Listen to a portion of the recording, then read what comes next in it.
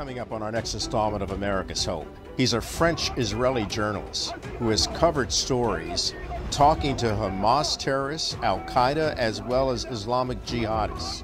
Hear his riveting story about suicide bombers and people who are determined to wipe Israel off the face of the map. Next on America's Hope.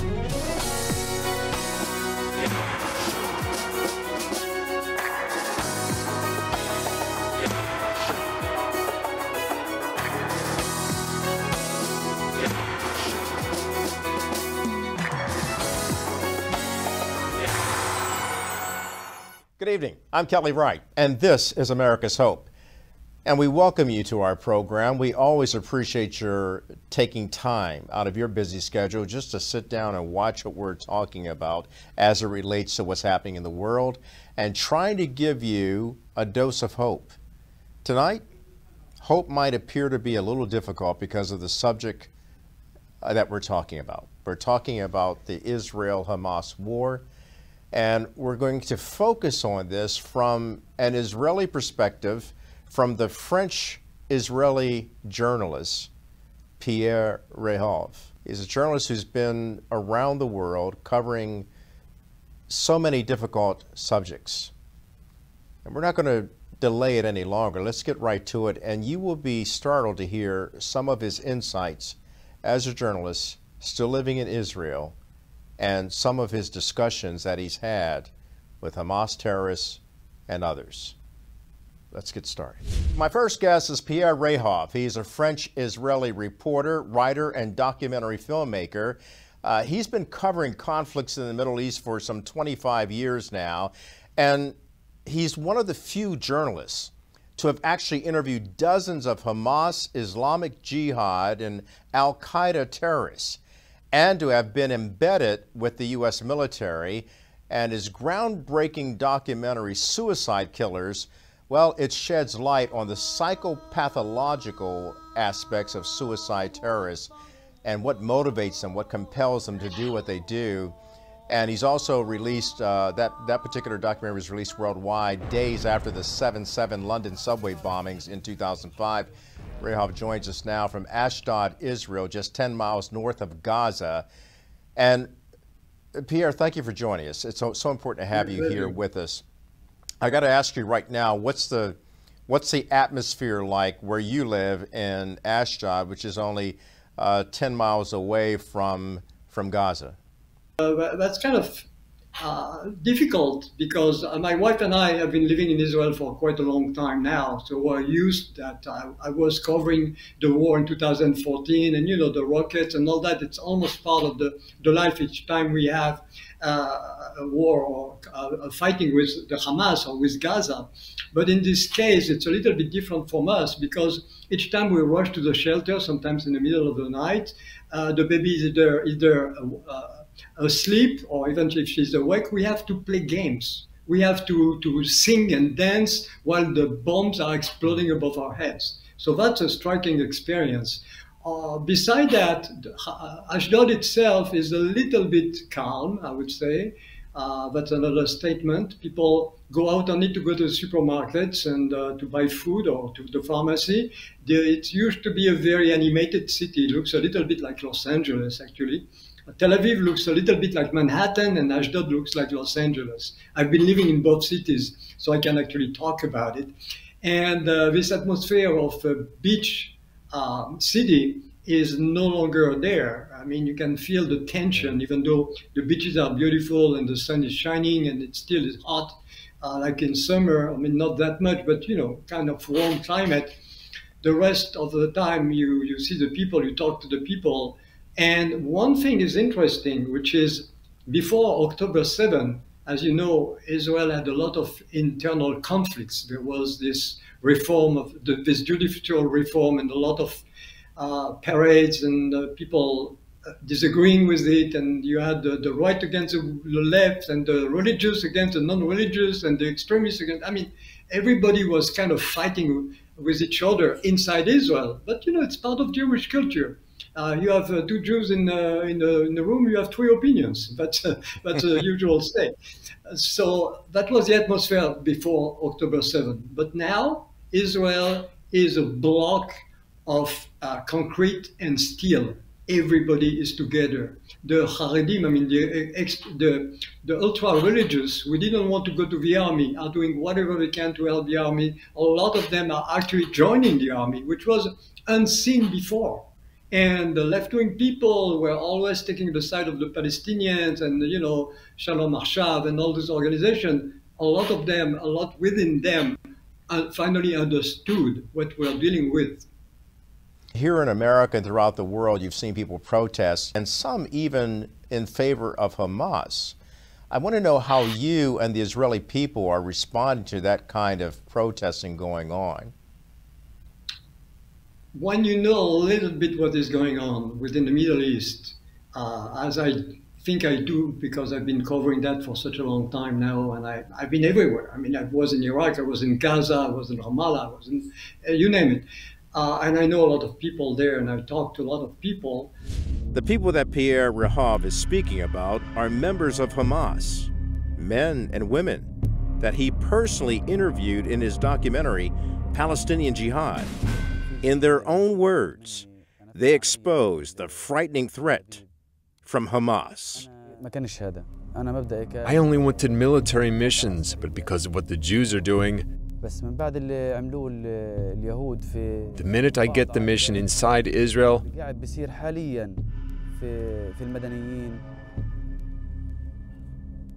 I will blow myself up.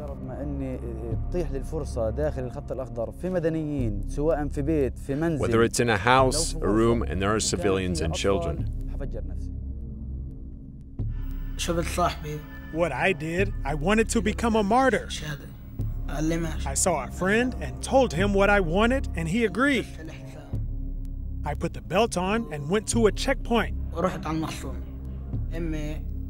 For the Palestinians, all the prisoners caught by Israel are heroes. The person who has sacrificed himself for his country is certain he'll be beloved. I must add that we don't only fight against occupation. Our goal is to spread Islam to all, everywhere. I will not feel sorry for any Israeli kid, and I will not regret even if it is a nursery full of kids. It's enough that I will be a martyr and I will go in front of God. Representing my family, 70 people, my wife, my children, my sisters, and all my friends. 70 people will go to paradise on my merit. This is a big honor for me. It's written in the Quran when a martyr blows himself up, it's beautiful. It feels so good. He doesn't feel any pain, only pleasure. And even dead, he wants to do it again and again. By God, if we chase the Jews from Palestine and the Holy Temple, and they don't surrender to Islam, even if they go to the end of the world, we shall chase them and kill them. And then we will call all the Christians to Islam because this is the only religion of compassion. Uh, what we know is that all those uh, parades in America and other places in the world, they are not spontaneous. It was kind of organized. Those are sleep, terrorist sleeping cells. They have been there for a long time. You certainly know my friend Steve Emerson, who had been covering for many, many years also. He wrote Jihad in America like 20 years ago, 25 years ago. And this is what is happening.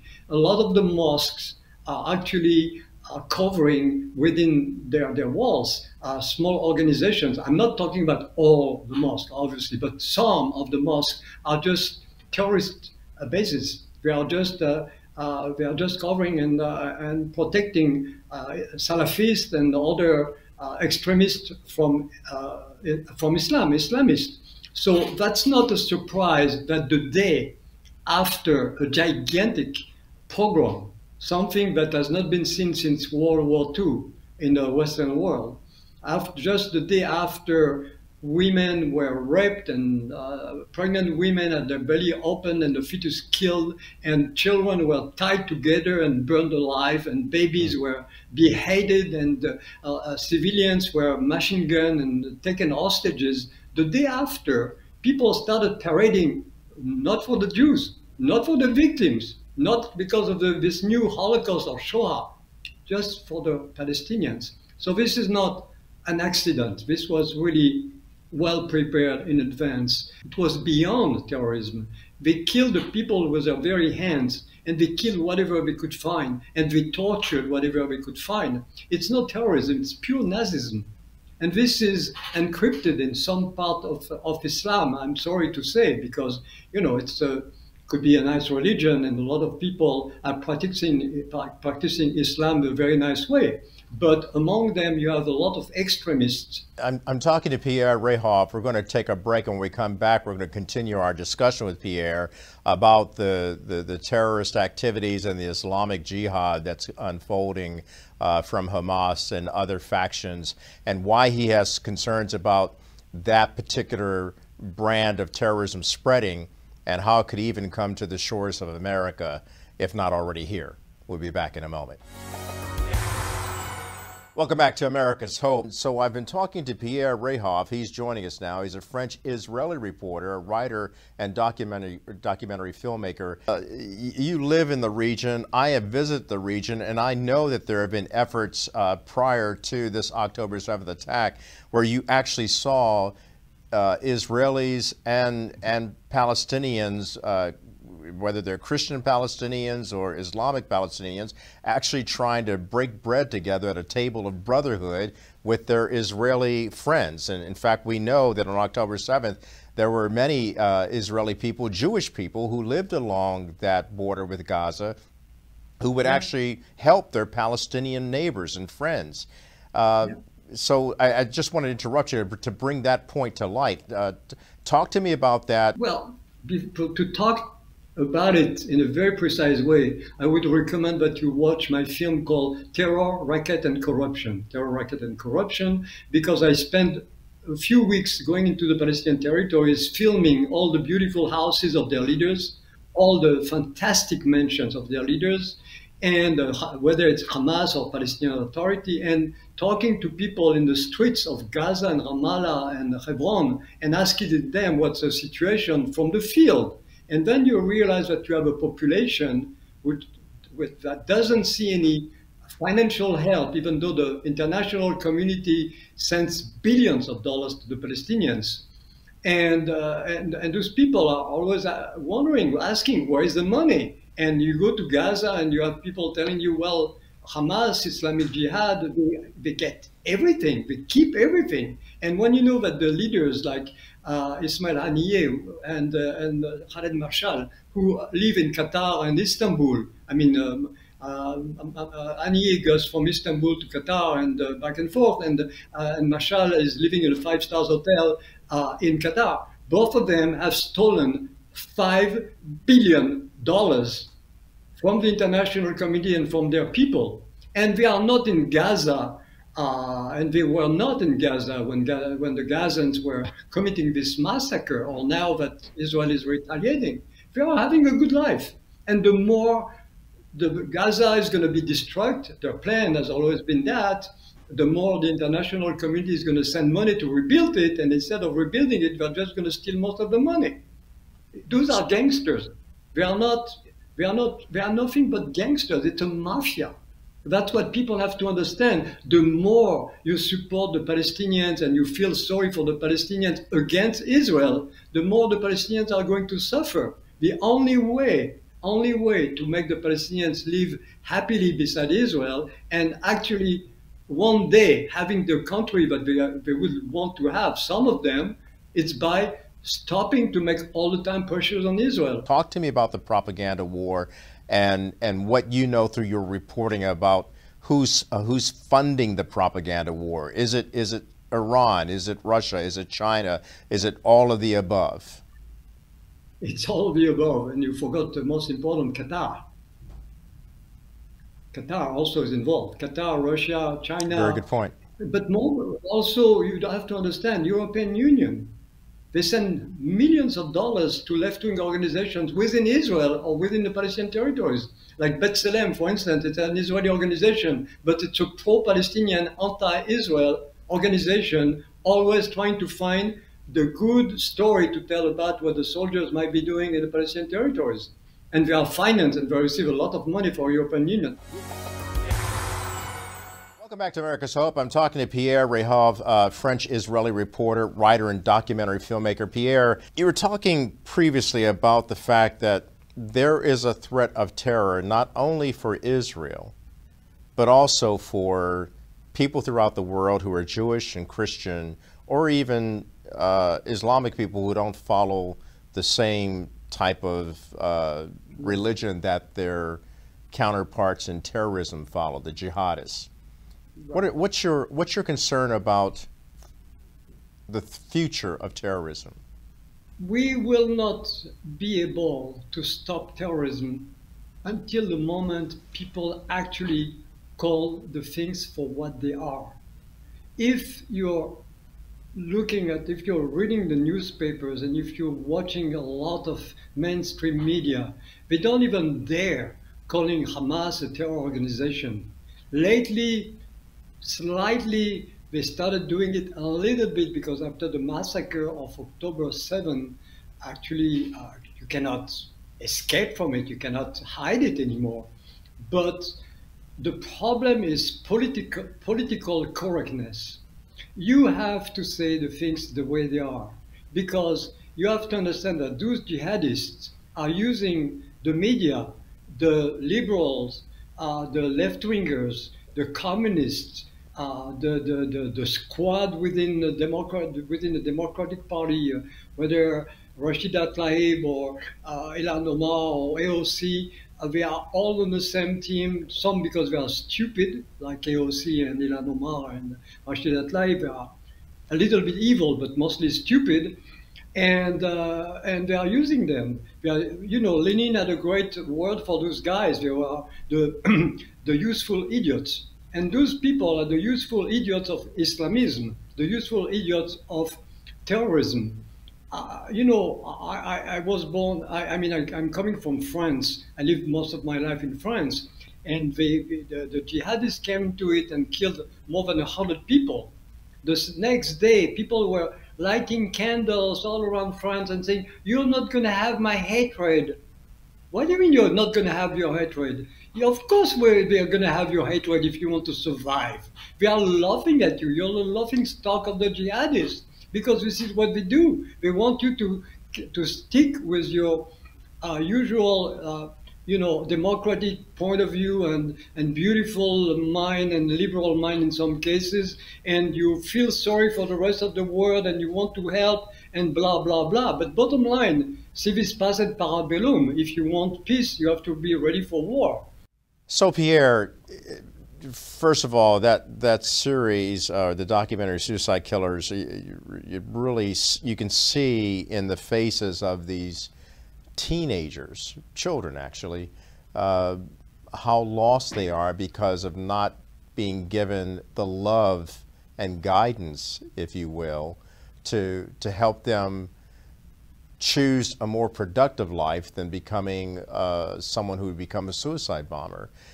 What right. do you think was going through the minds of the Hamas uh, terrorists who broke through and infiltrated uh, the kibbutzes and towns and villages in Israel on October 7th? You had two kind of people going into Israel on, on, October 7th. First of all, you have the members of Hamas and the Palestinian Islamic Jihad, and those are trained, uh, not soldiers, but trained terrorists. But a lot of Palestinian civilians followed. And this is the mistake that the Hamas made, because I have to explain you something. Uh, Palestinians' strategy is to attack Israel, so Israel is going to retaliate and then all the media of the world are going to go within the Palestinian territories and show how miserable and how uh, how many uh, victims they have, and they are happy to show the dead bodies of children and the dead bodies of women, and that's their victory because all the media are going to report on that. In, on, on the other hand, Israel is very shy and uh, very respectful of its dead, and we don't like to show our dead people. So for many years, the only dead you could see, only dead people you could see except for some terror attacks during the Intifada, where actually some reporters would go on the field and be able to film, but very briefly, some dead bodies. But Israel didn't want to show them. This time, what happened is the people who followed Hamas, who were just normal civilians living in Gaza and more than happy to go commit a massacre just for fun they were taking a high, they were taking drugs like Captagon, which is the drug of the, of the, the, the terrorists, and it's produced in Syria. It's actually 80% of the of the growth of the whole country. They are exporting Captagon all around the world, mm-hmm. especially in Saudi Arabia, where they want to stop it. But anyhow, that's not the problem here. The problem is that those people, they were so proud of, the, of what they were doing that they filmed themselves for the glory of massacring people.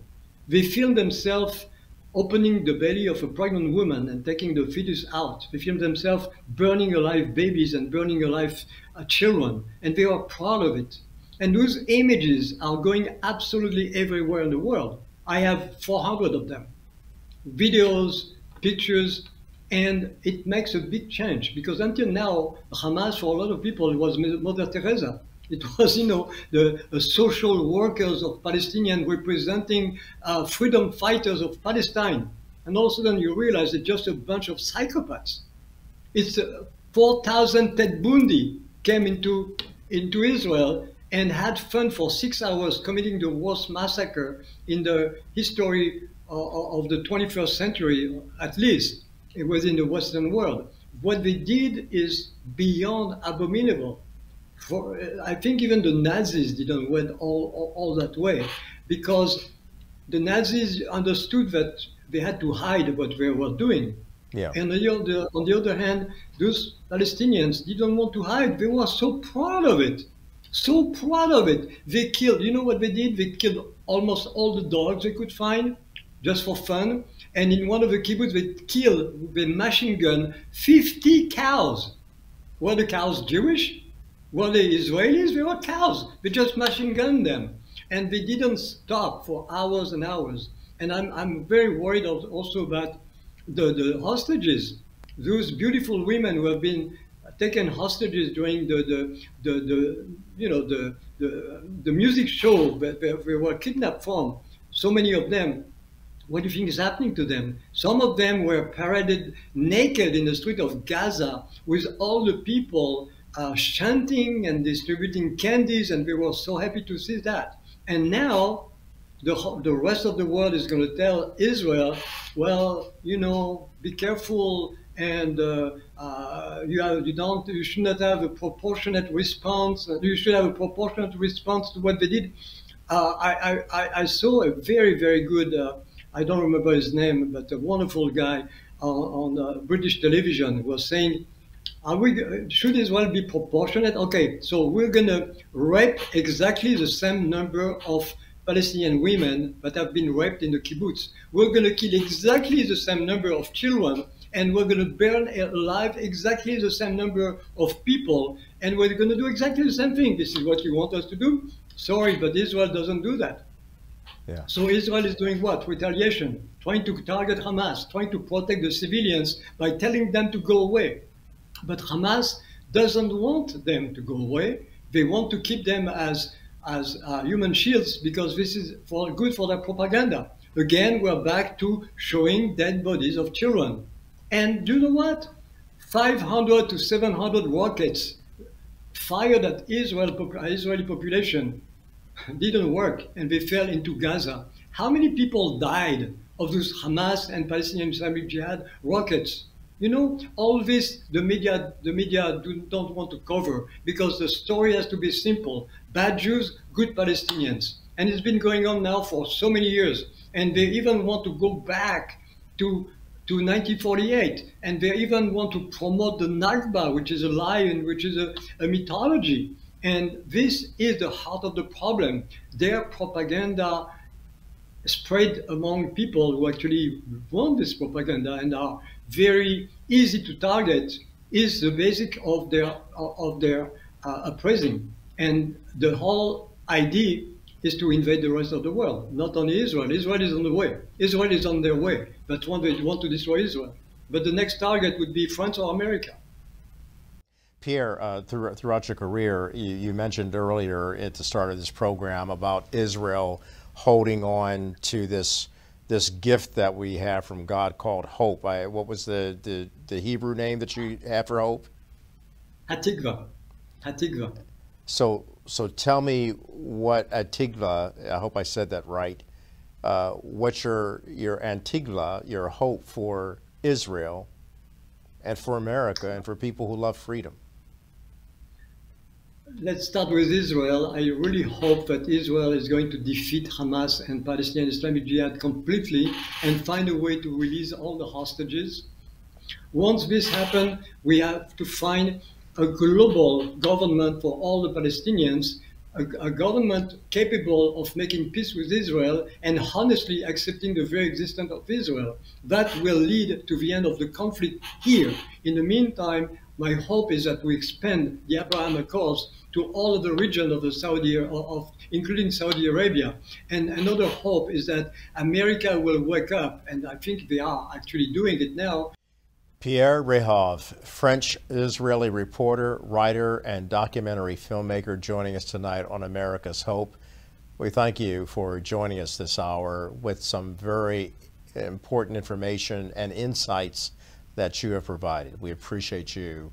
Stay safe in Israel, and we pray for the best for the outcome that Israeli Before people I go, before yes. I go, I would like to show you a picture taken in the main street of Gaza.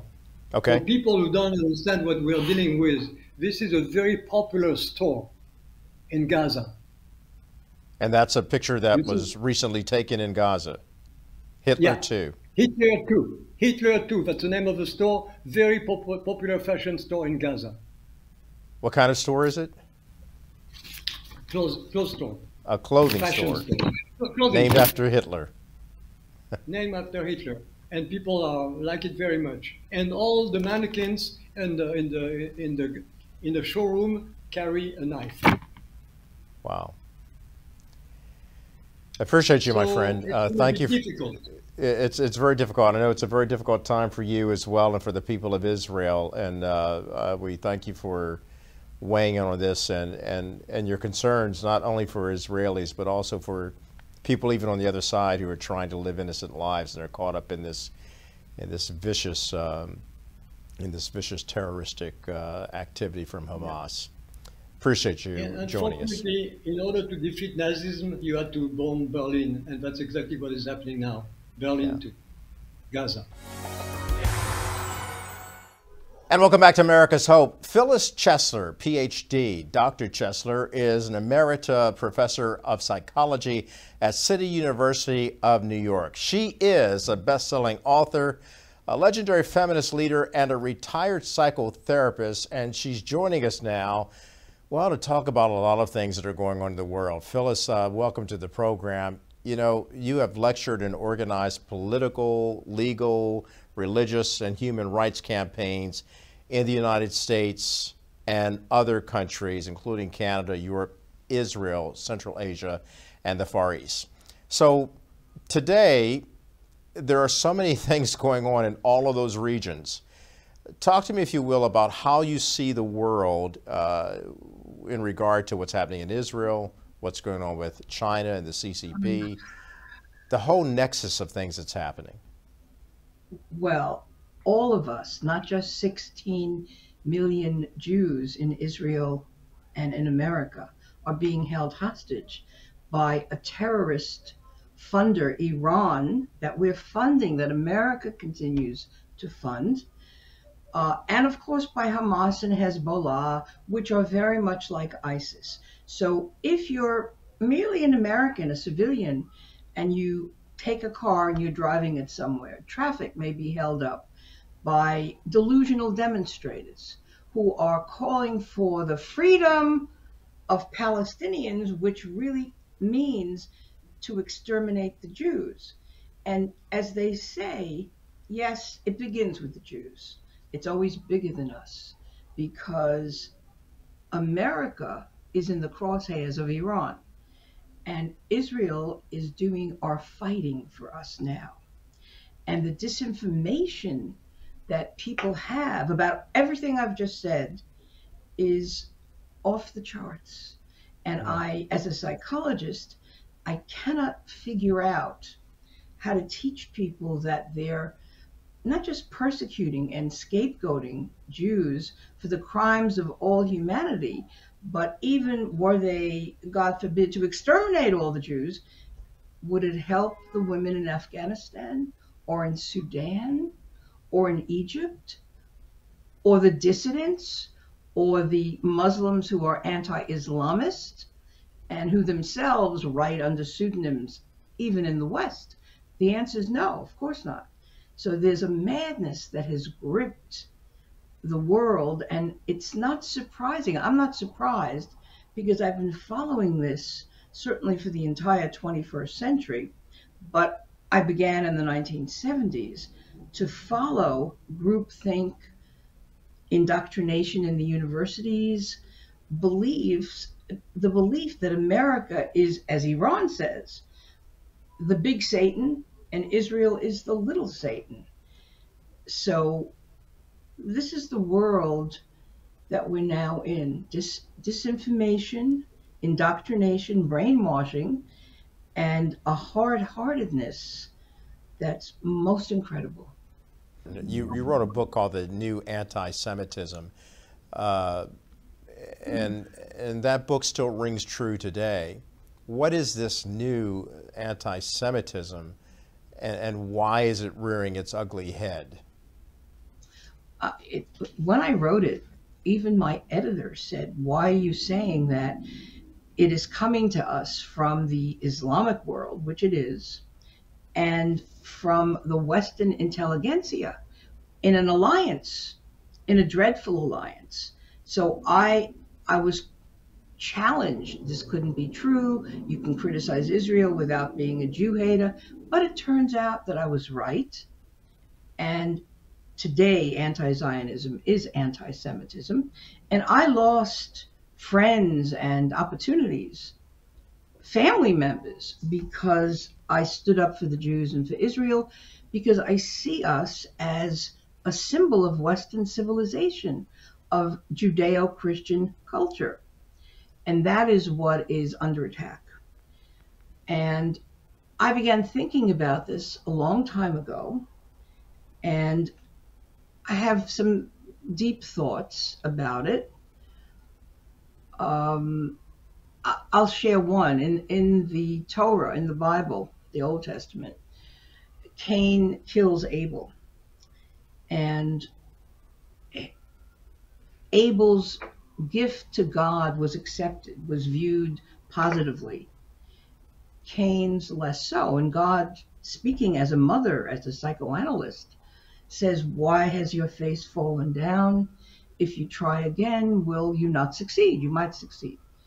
But Cain felt so cursed, so unloved, so unchosen, lesser, that he killed his brother. And I think that this kind of psychology is also involved in anti Semitism. And then for thousand years, maybe a little bit more, the idea of redemption coming to the world through the sacrifice of a Jewish rabbi also played its role, so that Jewish blood was seen as redemptive for the world. This is very problematic because I work with conservative Christians who are so pro Israel, God bless them. More so than many secular liberal Jews are, which is so troubling and so sad, but understandable because the the professors in our universities and our media and our international human rights organizations, all of them, are politically correct, multicultural relativists. And most academics in America and in Europe have been Stalinized and Palestinianized for a very long time. So, what's happening in the demonstrations and the resolutions against Israel in the hatred of America has been a long time coming. And for, for example, um, okay, if you're against racism, which I am, and against colonialism and against imperialism, every culture has practiced these customs, practices, and slavery. And many Muslim countries still practice slavery, which is mainly black slavery and sex slavery. And the uh, the academics in the West only want to hear about Israel as an apartheid nation state, which it's not, and absolutely won't hear about Islamic gender and religious apartheid, will not hear about Muslim involvement in the slave trade. Absolutely, when you, I, the first time I said this, it was at a grassroots conference called mainly by uh, African American feminists, and they wanted me to talk about my book. Uh, at that time, it was Woman's Inhumanity to Woman. And when somebody stood up and asked me, Where do you stand on the question of the women of Palestine? I said, I think you're asking me where I stand on the issue of apartheid, and I oppose it. And let me tell you that the largest practitioner of apartheid is Islamic leaders, Islamic countries. And I was once uh, held captive in Afghanistan, in Kabul. So I know a bit about what I speak. And the place, this was at Barnard in 2003, the place went crazy.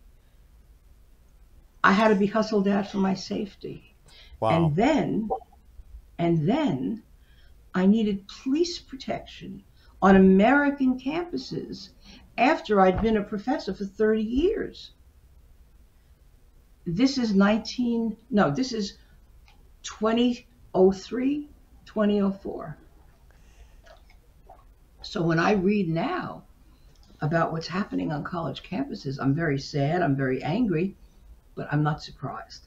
And when I hear about uh, students, Jewish students for now, um, being locked in or needing police protection or not feeling safe or being doxxed or being harassed on the street yeah. or, or beaten, yeah. again, I'm angry, I'm disgusted, but I'm not surprised because you have such a level of propaganda, demonization of the Jew and of the Jewish state, Israel, that it always leads to bloodshed. Always. You have propaganda and it leads to bloodshed. I, have got to ask you, uh, how, how did we get to this? Uh, did we not see this coming? We have uh, great intelligence services in the United States. Uh, did we not see this seeping uh, of information, misinformation, creeping in to our college campuses, and and like you said, even to our media circles? Many of us did, but we were not listened to. We were Cassandras. We were the canaries in in the mine. We were not believed. In fact, once I made a presentation at Columbia, and a very prominent Jewish leader said, "Oh, you're the Jewish Cassandra." And I said, Oh, sir, I, I, hope not, because she was not listened to. Troy was destroyed, and she became Agamemnon's sex slave. So please don't say that. Uh, but it turns out that I was right, and a good handful of others also were right about the anti Americanism, the anti religion, the anti Israelism. The final question is how do you help save millions of people from the current propaganda, misinformation, oh. miseducation of the masses? It will take, since it took 60 years to bring us to that way of wrongful thinking, it may take us as long to drain the swamps, to deprogram the brainwashed, and um, to do so in a fact based, objective way. Because people who are in a cult or who've been brainwashed and are in a cult um, need to be deprogrammed. And I'm not sure how long that will take. And uh, we're up against a huge task. And like Israel at war, we also must strive to succeed in the task. So, what's your hope for America, Israel, and the world? Oh, my hope is we should be spared hatred. We should be spared war. Each human life should be treasured. And oh, we are so far from this. And yet, these are great goals, these are ideals that we must keep in mind and in our hearts and in our actions. Dr. Phyllis Chesler, I appreciate meeting you.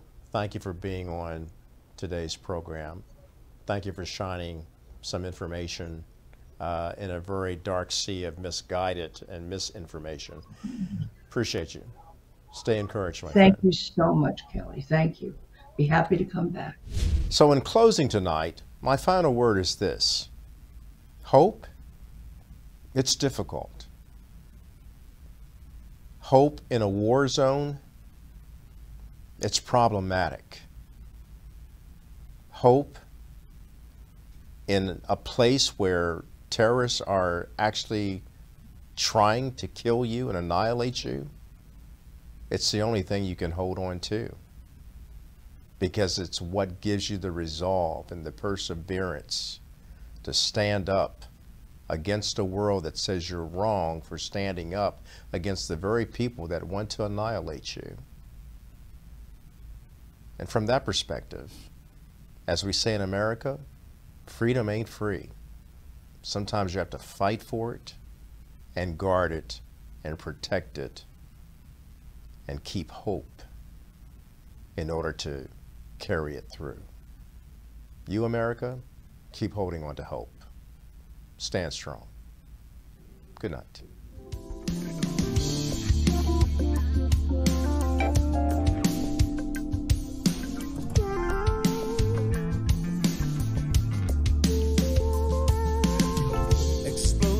Rip through the heart of the city, inflicting pain and casualty.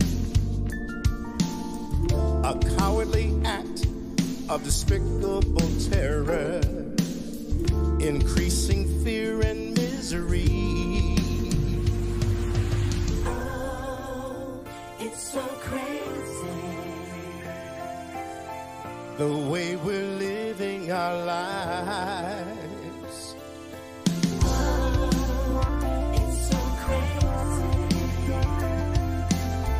This kind of living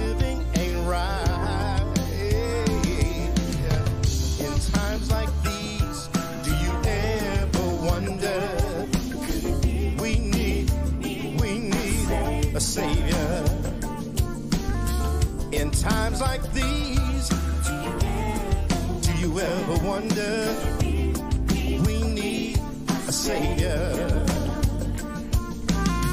Your broken heart, so bruised and battered, tearing apart at the seams. Your wounded life, so torn and tattered, filled with regrets and broken dreams.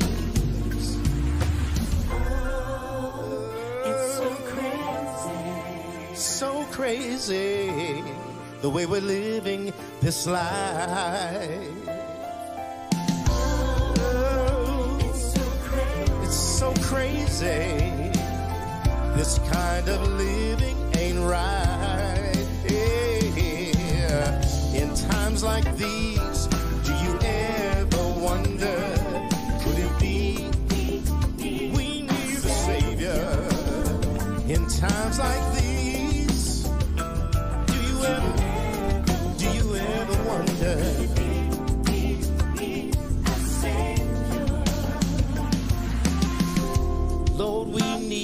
salvation. Mm. Please come and heal the nations. Lord, we need deliverance. Oh, please come and give us forgiveness. Well,